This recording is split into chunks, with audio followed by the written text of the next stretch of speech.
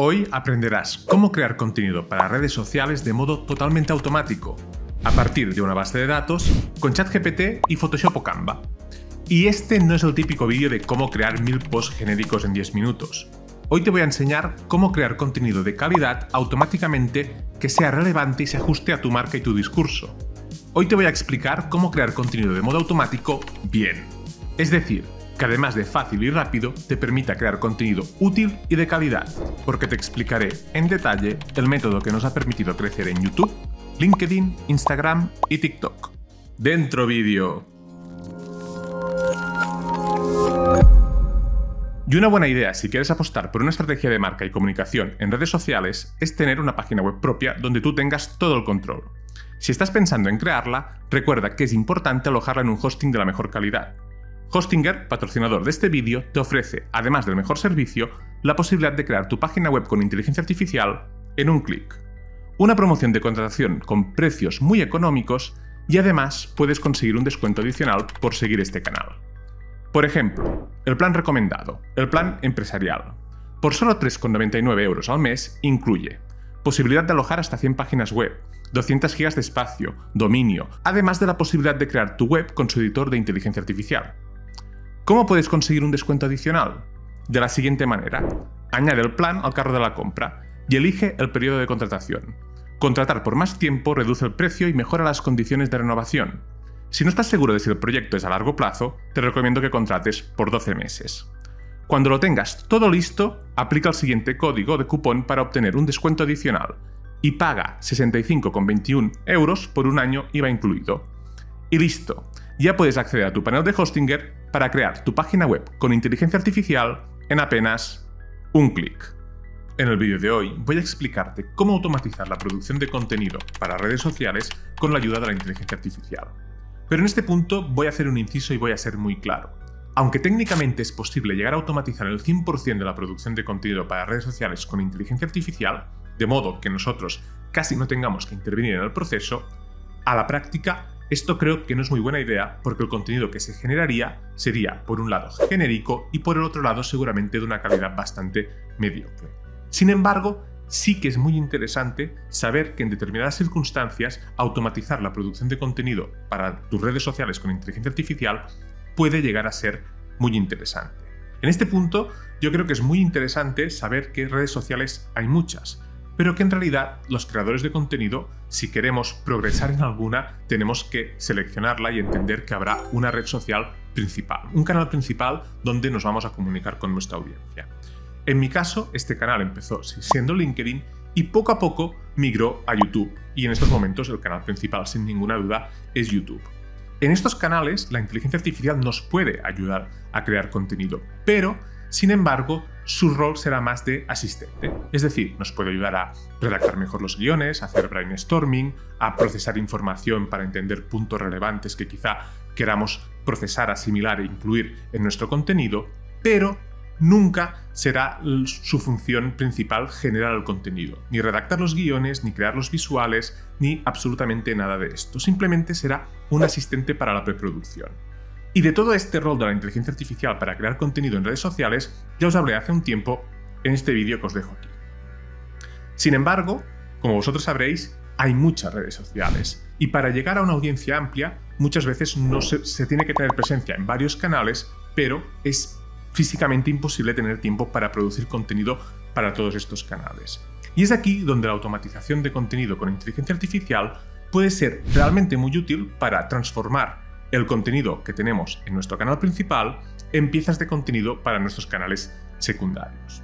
Y esto es justo lo que os voy a explicar hoy. Y os lo voy a explicar desde la teoría, desde los conceptos que yo entiendo que se deben entender para poder hacer esto bien, y es un concepto que yo llamo contenido modular, hasta la práctica, con un ejemplo de cómo convertir mis vídeos de YouTube en carruseles para luego poderlos publicar, por ejemplo, en LinkedIn o Instagram.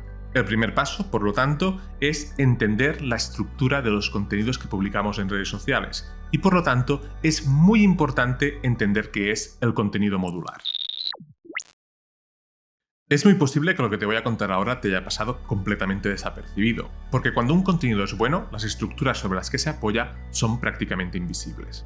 Pero cuando se crea contenido para redes sociales, hay que entender que hay estructuras que funcionan mejor que otras y que se tiende a replicarlas. Y que cuando analizamos estas estructuras vemos unidades de contenido o unidades de información que tienen funciones específicas y que podemos calificar como módulos. Y que entre los diferentes formatos, por ejemplo entre YouTube y LinkedIn, estos módulos son equivalentes, hay estructuras equivalentes, por lo que cuando creamos contenido apoyándonos en estas estructuras, es muy sencillo después transformar de un formato a otro. Es lo que yo llamo la teoría del contenido modular y esto es algo que ya explicaba antes de empezar a hacer divulgación sobre inteligencia artificial y que os voy a explicar en este vídeo porque es muy importante de cara a entender cómo sacar el máximo provecho del método que os explicaré a continuación. La producción de contenido modular es algo que se basa en algo muy sencillo como es identificar las diferentes partes que componen una pieza de contenido y establecerles plantillas, diseños o maneras de estructurarse concretas para que sean reaprovechables. Esta estrategia lo bueno que tiene es que nos permite construir contenidos sencillos, por ejemplo listas de herramientas, listas de consejos, y luego convertir este tipo de contenido en contenido más complejo, combinando herramientas y consejos. O hacerlo al revés, crear primero una pieza muy compleja y luego separar estas pequeñas piezas para construir piezas más sencillas. Esto, por ejemplo, funciona muy bien cuando se hacen carruseles, bien sea para LinkedIn o Instagram. La clave es esta, está en entender las estructuras que hacen que funcionen cada tipo de contenido para que las podamos convertir en piezas de Lego donde nosotros escribimos o creamos diferentes contenidos que luego podemos ir reaprovechando. Esto es importante porque la inteligencia artificial es muy buena en esto, en entender estructuras más o menos rígidas y rellenarlas siempre del mismo modo.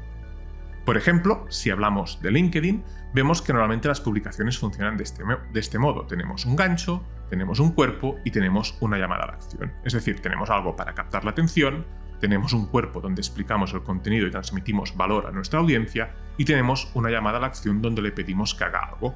A veces simplemente que comente, que dé un like, que vaya a visitar nuestro perfil, lo que sea. Normalmente esta es la estructura ideal de una publicación en LinkedIn. Si nos vamos a un carrusel, vemos que pasa más o menos lo mismo. Tenemos una portada, que no deja de ser el gancho, el motivo por el que queremos que sigan viendo ese carrusel, una introducción para contextualizar y terminar de amarrar el gancho, el contenido y la llamada a la acción. Y si nos vamos a un vídeo pasa más o menos lo mismo. Tenemos la introducción donde tenemos que explicar claramente por qué se tiene que ver ese vídeo o por qué ese vídeo es relevante para la audiencia que lo está viendo. Tenemos una careta que es como lo que separa la portada del contenido, un primer resumen del contenido, es decir, qué voy a explicarte de un modo más detallado, el contenido, a veces puede haber una pequeña promoción y finalmente una llamada a la acción. Pero como veis, estamos hablando ya de tres redes distintas donde los diferentes módulos que componen sus contenidos son muy similares. Y si tenemos claro esto, podremos optimizar nuestra producción de contenido, porque si se tienen claras que estas estructuras son homologables entre diferentes formatos, veremos que una decisión fácil a tomar es crear módulos reutilizables que nos permitan escalar la producción de contenido y, por ejemplo, pasar de crear contenido más sencillo a crear contenido más complejo. Y sobre todo, si nos basamos en esta teoría, lo que podremos conseguir es asegurar la coherencia de la marca a través de los diferentes canales. Dicho esto, lo que ahora voy a hacer es, con la ayuda de la inteligencia artificial, tratar de hacer lo que antes hacía a mano. Es decir, identificar elementos de valor dentro de un contenido en un formato para convertirlos en otro formato respetando mi identidad de marca. En este caso, lo que voy a hacer es un ejercicio muy sencillo. Voy a aprovechar toda la información de mi canal de YouTube, de todos los vídeos de mi canal de YouTube, para crear una base de datos y a partir de esta base de datos pedirle a ChatGPT con Code Interpreter que me la procese y me proponga contenidos para otra red social. En este caso le voy a pedir que me proporcione carruseles. Y le voy a pedir un tipo concreto de carruseles, por ejemplo recomendaciones de 5 vídeos de mi canal, y que me los agrupe por características. Y que además de cada vídeo me proponga un lema o una frase que invite a verlo. Y con todo esto, lo que voy a hacer es automatizar la producción de estos carruseles en Photoshop. Vamos a ver todo el proceso a continuación. Y para hacer esto, lo más importante, teniendo en cuenta lo que os acabo de explicar, es definir muy bien la estructura. En este caso vamos a hacer unos carruseles muy sencillos que constarán de los siguientes módulos. Una portada, donde estará el título con la temática de los cinco vídeos que vamos a recomendar, 5 slides, uno para cada vídeo que vamos a recomendar, con un pequeño lema que sea el motivo por el que nuestra audiencia le invitamos a verlo y merezca la pena verlo, y finalmente una contraportada con una llamada a la acción que en este caso será simplemente una invitación a descargar mi ebook. Por cierto, un ebook que si no te has descargado, puedes hacerlo en el enlace que te dejo en la descripción. Una vez dicho esto, os voy a explicar cómo trasladamos todo este procedimiento a herramientas de inteligencia artificial. Como ya os he dicho, vamos a utilizar ChatGPT con Code Interpreter. Lo primero es crear una base de datos con la información que va a utilizar ChatGPT para crear nuestro contenido. En este caso, yo me he creado una base de datos con la URL del vídeo, su título, un enlace al thumbnail y la descripción como temas principales. Hay más información, pero esto es lo que vamos a utilizar. Y con esta información, lo que vamos a hacer, esto es un archivo CSV, es utilizar la función de Code Interpreter de ChatGPT, que si no la conoces y quieres saber cómo funciona, aquí tienes un vídeo donde lo explico, donde lo que hemos hecho es subir esta base de datos y pedirle lo siguiente. Quiero que analices toda la información de esta base de datos de mis vídeos de YouTube. Mi objetivo es utilizarla para crear contenido para generar carruseles en Instagram. Los carruseles serán del tipo 5 vídeos recomendados para. Después de analizar la base de datos, quiero que me propongas 5 carruseles distintos con 5 vídeos que sigan con esta estructura. Dime el título para el carrusel, no hace falta que sea literalmente 5 vídeos recomendados para, sino simplemente 5 vídeos y complétalo como mejor te parezca, y 5 vídeos que aparezcan en la base de datos que utilizarías. Y a partir de aquí, ChatGPT nos hace ya gran parte del trabajo. Primero, analiza la base de datos y identifica qué hay en cada columna, identifica que hay un pequeño error porque no había las descripciones de todos los vídeos y reprocesa él automáticamente la base de datos para añadir un no disponible donde no había la información. A partir de aquí, identifica los temas más habituales del vídeo, ahí del canal, y lo hace bastante bien, inteligencia artificial, ChatGPT. Luego hay palabras de relleno que no son tan relevantes, pero como veremos, una vez ha hecho todo el análisis, descarta este tipo de palabras y se queda con las relevantes como es IA, ChatGPT y tutorial. Y una vez se ha hecho una idea de qué va mi canal, me propone pues los diferentes carruseles. En este caso me, me propone los siguientes carruseles. 5 vídeos de IA que debes ver y 5 vídeos recomendados. Carrusel, lo último en ChatGPT y diferentes vídeos recomendados. Tutoriales que no te puedes perder y diferentes tutoriales que hay en mi canal. Descubre más sobre inteligencia artificial y avances en inteligencia artificial. A partir de aquí deberíamos revisar, evidentemente, que los cinco vídeos seleccionados sean relevantes, pero en caso de que lo sean, y lo, demos por bueno, le podemos pedir algo como esto. Perfecto, ahora quiero que crees una tabla para cada uno de estos carruseles. La, la tabla debe contener la siguiente información. Título del vídeo, lema, frase descriptiva del contenido y relevancia del vídeo que invita a verlo, thumbnail, enlace al thumbnail de la portada. Para escribir el lema no es necesario que te ciñas la información de la tabla, puedes redactarlo a partir de cualquier otra referencia o conocimiento que tengas de la obra. No, puedes tener, no puede tener más de 12 palabras. Empecemos por el carrusel de 5 vídeos de inteligencia artificial que debes ver. Y ChatGPT automáticamente nos crea una tabla de este tipo que con diferentes iteraciones yo he ido mejorando hasta llegar a una tabla donde está, queda esta estructura. El título, el lema y el enlace al thumbnail. Y con esta tabla yo ya puedo irme a Photoshop y automatizar la producción del contenido interno de todos los carruseles. Vamos a ver cómo. El primer paso es preparar el archivo de Photoshop, como veis en pantalla. Tengo cuatro capas, dos de ellas son de texto y una de imagen.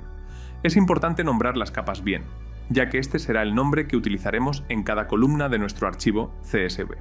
Para preparar el archivo CSV lo podéis hacer con Google Sheets.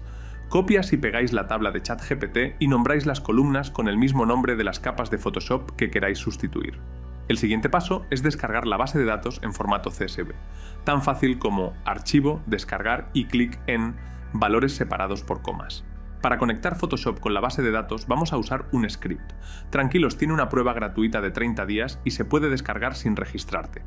Dentro de la página web descargamos la versión de prueba. Si queréis más información de cómo funciona el script en la misma página, tenéis un tutorial muy completo. Una vez tenemos el diseño y la base de datos hechos, toca instalar el script y configurarlo. Para instalar el script, el modo más rápido es File, Script y Browse, y seleccionáis el script descargado, una vez cargado el script, podéis ver que hay tres apartados. En primero se configura la base de datos y si está separado por comas o semicomas. Si lo has creado con Google Sheets, selecciona comas y clic en File para seleccionar tu archivo CSV. El siguiente apartado tienes que seleccionar la configuración de las imágenes. Si tenéis imágenes con un enlace web, selecciona la primera opción. El tercer apartado es donde configuramos como queremos los archivos de salida, su ubicación y su formato. Una vez lo tenéis todo configurado, le damos clic a OK. Esperamos un momento a que procese todas las imágenes. Vamos a la carpeta donde hemos seleccionado la salida de las imágenes y ya podemos ver los resultados. Y así sería como se hace en Photoshop. A continuación te voy a explicar cómo se hace en Canva, pero antes déjame hacerte notar que te he colado otro uso de la inteligencia artificial para crear contenido en redes sociales. En este caso, esta parte del tutorial en Photoshop lo ha hecho Albert y ha utilizado mi voz clonada para darle la locución y darle un poco de continuidad al vídeo. Por lo que, en casos concretos como estos, en los que queremos dar cohesión pero una parte del vídeo no lo podemos hacer nosotros, la inteligencia artificial también puede ayudarnos. Y a continuación, seguimos con el tutorial para hacerlo en Canva. Lo que hemos hecho en Photoshop se puede hacer también en Canva de un modo muy, muy fácil. Eso sí, se tendrá que utilizar una herramienta que solo tienen disponible los usuarios premium. Pero se hace de este modo. Lo primero de todo es tener preparada la plantilla que vamos a utilizar.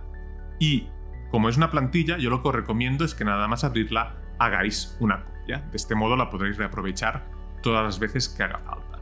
En este punto vamos a utilizar la siguiente herramienta Premium que está disponible aquí en Aplicaciones. Clicamos en Apps, nos vamos a Bulk Create y en este punto podremos empezar a introducir nuestros datos, nuestros datos que están estructurados en una tabla.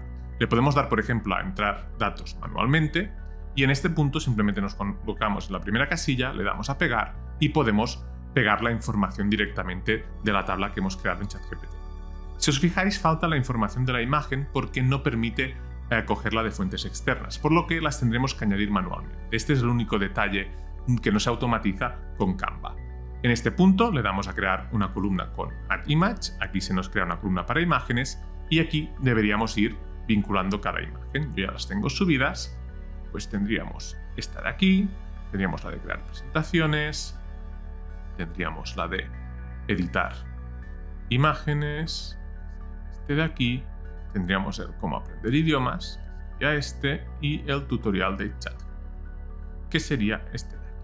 Una vez hecho, le damos a Don, pero antes de darle a Don, es interesante cambiar el nombre de las columnas para que los podamos identificar más fácilmente. En este caso, este sería el título, y esto sería el lema, y esto sería pues la imagen. Ahora sí, le damos a Don y en este punto tenemos que vincular cada uno de los campos dentro de la plantilla. Para hacerlo nos ponemos encima de uno, botón derecho, conectar data, título, aquí lo mismo, botón derecho, conectar data, lema, aquí lo mismo, botón derecho, conectar data, imagen. Y una vez hemos hecho todo esto, aquí abajo hay un botón donde pone continuar. Le damos a continuar, nos dice las páginas que creará, le, le doy a generar las cinco páginas y automáticamente se me genera el carrusel entero. En este punto, como os podéis imaginar, falta la portada y también falta la contraportada. ¿Cómo las cargamos? Del siguiente modo. Vamos a Proyectos, nos vamos a Plantillas de YouTube y aquí tengo las dos plantillas. Eh, selecciono, por ejemplo, esta de aquí, Add as a New Page y una vez introducida lo único que tendríamos que hacer es reordenarla. Aquí la tendríamos, ya tendríamos hecha la portada y ahora nos faltaría la contraportada y hacemos lo mismo. Seleccionamos aquí, seleccionamos la contraportada, le damos a añadir como una página nueva y se nos añade al final. Y en este punto lo único que tendríamos que hacer es darle a compartir, download y, por ejemplo, descargar como PDF. Y este sería el resultado final. Tenemos aquí el PDF con el recopilatorio de los cinco vídeos con su lema y la llamada a la acción al final. De este modo tan sencillo también podemos automatizar la producción de contenido con inteligencia artificial apoyándonos en Canva. Este es un ejemplo muy básico de crear carruseles. Nosotros vamos a seguir experimentando y seguramente llevándolo, llevándolo al terreno práctico, es decir, publicando contenido de este tipo en nuestras redes sociales. De modo que si queréis que os vayamos explicando el resto de experimentos que vamos haciendo, dímelo en los comentarios e intentaré traeros más vídeos de este estilo. Deciros que, por ejemplo, una aplicación casi inmediata, idéntica a esto que os acabo de explicar, es en vez de extraer la base de datos de un canal de YouTube, extraer la base de datos de un blog WordPress donde tenemos la imagen destacada y donde la inteligencia artificial puede hacer un resumen para crear carruseles similares. Y en caso de que no tengáis una página web WordPress y queráis tenerla, os recomiendo que veáis la oferta de Hostinger que os he dejado en el enlace de la descripción. Nos vemos en el siguiente vídeo.